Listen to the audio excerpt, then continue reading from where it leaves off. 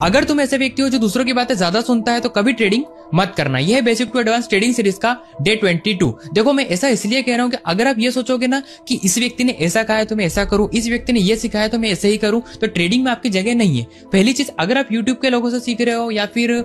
Paid course से सीख रहे हो या फिर किसी से भी ट्रेडिंग सीख रहे हो, अगर उसने जो सिखाया है, वो केवल एक टेक्निक है, लेकिन उस टेक्निक को आप पूरी कॉपी कर लेते हो मार्केट में तो नहीं, आप कभी प्रॉफिटेबल नहीं बन पाओगे, क्योंकि हर ट्रेडर की अपनी एक साइकोलॉजी होती है, हर ट्रेडर का अपना एक एक्सपीरियंस होता है, जो कि उसे प्रॉफिटेबल बनाता है। नंबर टू के आप घर वाले रिश्तेदार, दोस्तों की बातें सुनते हो कि भाई, मैंने भी अपना स्टॉक मार्केट में पैसा लगाया था, मुझे तो लॉस हुआ, पैसा डूब जाता सट्टा वगैरह वगैरह, और आप भी सोचते हो शायद हो सकता है, और वो डिमोटिवेशन वो नेगेटिव थिंकिंग के साथ करोगे तो ना होते हुए भी आपका लॉस हो जाएगा, जो कि गलत है। एंड नंबर तीन के इंस्टाग्राम पर यूट्यूब पर जो भी लोग फेक प्रॉफिट दिखाते हैं बड़ा बड़ा दिखाते हैं कि मैंने देखो ये कार ली, मैंने घर लिया ट्रेडिंग से, मैं तो ये अचीव कर रहा हूँ तो उनका कोर्स बेचने का काम है, उनका एफलेट मार्केटिंग अकाउंट खुलवाने का काम है तो उनसे भी बचो, अपना माइंड लगाओ। बाकी अगर इसी तरीके से ट्रेडिंग सीखना चाहते हो और इस सीरीज़ में शामिल होना चाहते हो जस्ट मुझे फॉलो कर लेना। और हाँ इस रील को अपने सभी दोस्तों के साथ शेयर कर देना।